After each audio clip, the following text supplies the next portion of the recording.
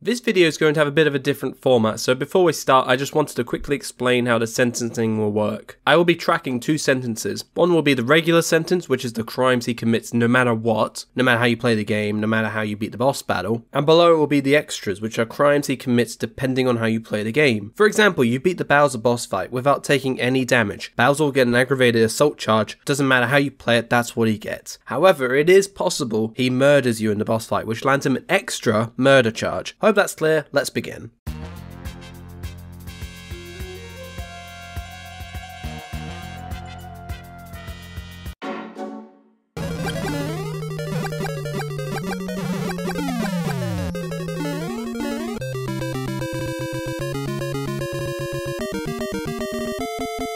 In the first Mario game, Bowser kidnaps the princess along with seven toads. He also fights with Mario eight times, and three of those times he throws hammers at Mario. He will receive eight counts of kidnapping, five counts of aggravated assault, and three counts of aggravated assault with a deadly weapon. He will also receive an extra first degree murder charge in the event he kills Mario. Bowser actually isn't in this game, so moving on.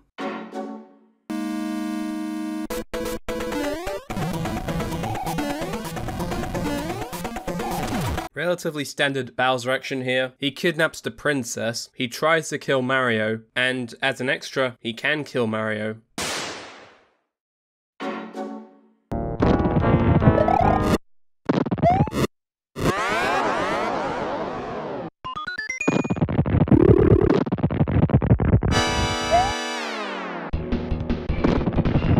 Bowser commits what I now call the Bowser trio of charges, being aggravated assault, kidnapping, and the extra first degree murder. We can also throw on arson for when he shoots fire at Mario, and I don't even want to imagine what Bowser is doing to the princess here.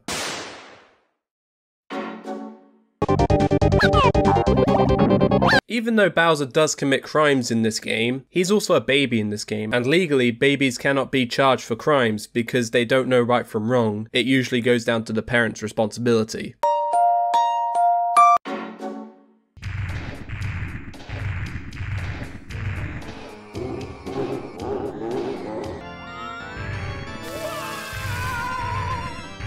This game, Bowser doesn't just kidnap the princess, but steals her castle too. So in addition to the Bowser trio, we can add burglary for stealing the castle, two extra aggravated assault charges since you fight Bowser three times, and we can also add grand larceny since he steals the power of the stars, whatever that means.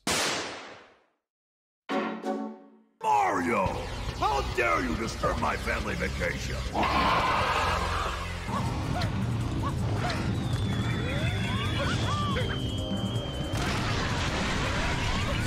Bowser in the pool commits arson since he's breathing fire outside his own property. He's shooting rockets at Mario, which is the Mario equivalent of shooting a gun, so we'll give him a dangerous use of firearms charge for that. He also kidnaps Peach, again, and as an extra, he can kill Mario, so that's first degree murder on the extra.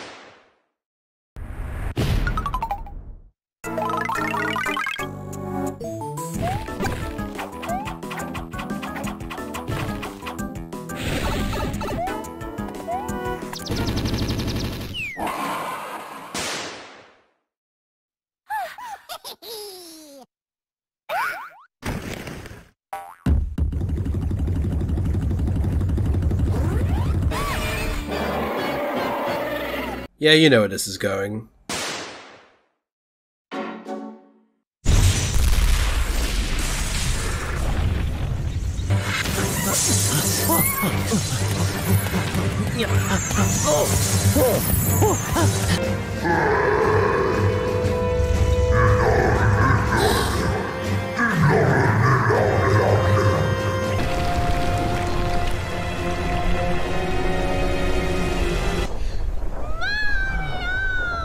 Bowser goes a bit overboard here as he declares war on the Mushroom Kingdom and commits war crimes by bombing the civilians and even crystallizing them. He also gets three counts of kidnapping for the princess and the two toads that were with her.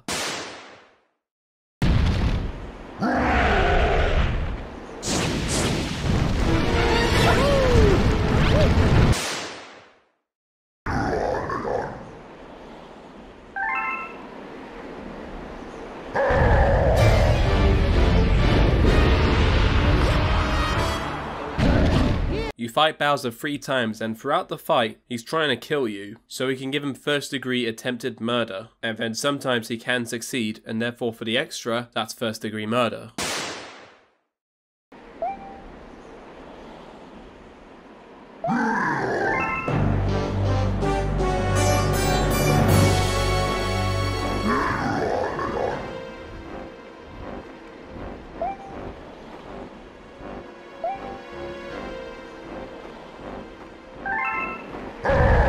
Bowser outlines his extensive plans to rule the universe, with his first action being the creation of a new galaxy. Now that in itself isn't a bad thing, assuming it doesn't affect any of the galaxies when it's created, but the ruling the universe part definitely would land him some war crimes, since he's already taken steps towards this goal.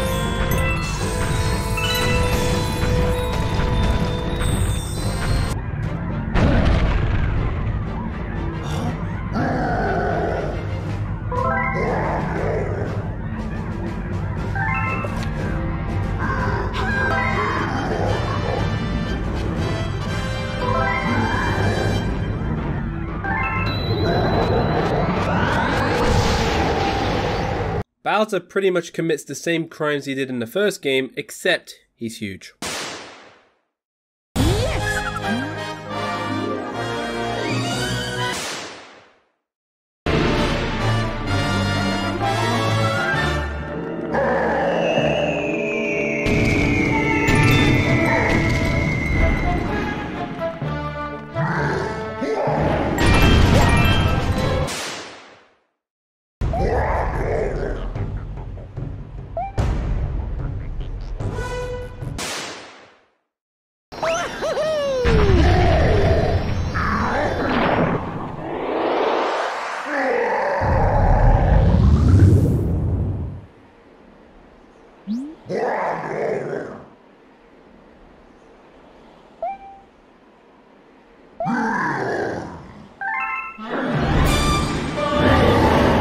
This is the first time Bowser explicitly shows intent to kill Mario, rather than just beat him up. This will land him a first degree attempted murder charge.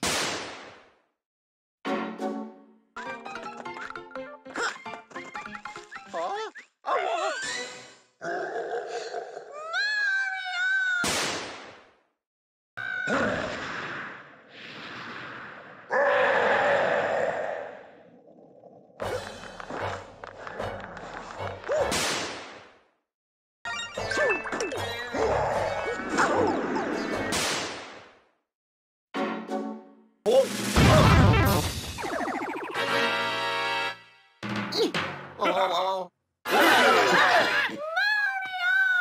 oh no!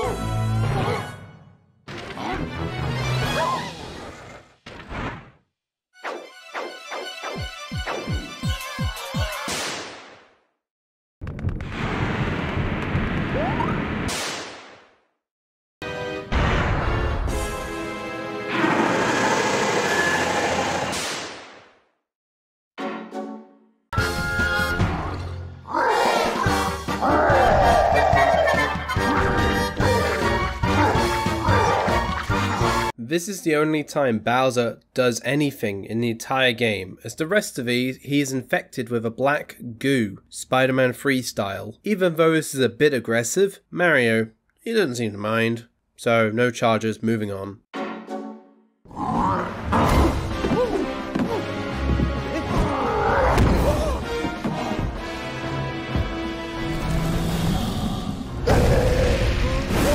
This is actually the first time we see Bowser punch Mario, as well as the classic arson and aggravated assault to go along with it.